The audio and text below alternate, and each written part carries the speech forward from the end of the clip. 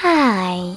In front of me is Oppo Reno 8T and today I would like to show you how you can operate voice recorder on this Oppo. First of all, you need to locate Recorder app. When you find it, click on it.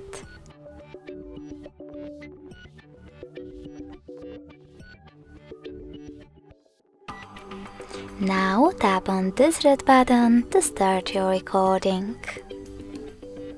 Then select allow in the pop-up. And as you can see after that, recording is on. You can pause it or unpause it using the same red button. If you wish to add a bookmark, click on mark on the left. In order to add a photo one, click on this one on the right.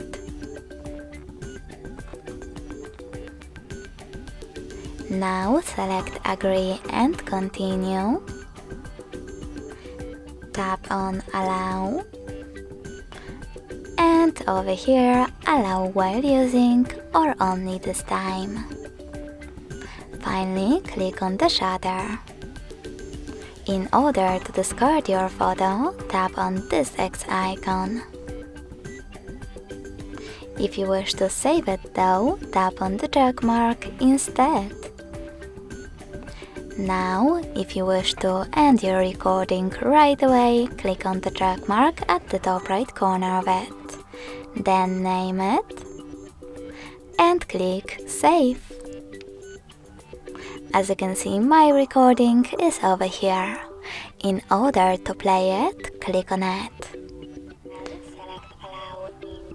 If you wish to rename it, you need to hold it. Select rename at the bottom and type in wherever you want to. Then click on save. You can always delete it as well by holding it but this time select delete at the bottom right corner and confirm your choice in the pop-up. Thanks so much for watching. If you enjoyed this video, smash that like button, comment and subscribe. Bye!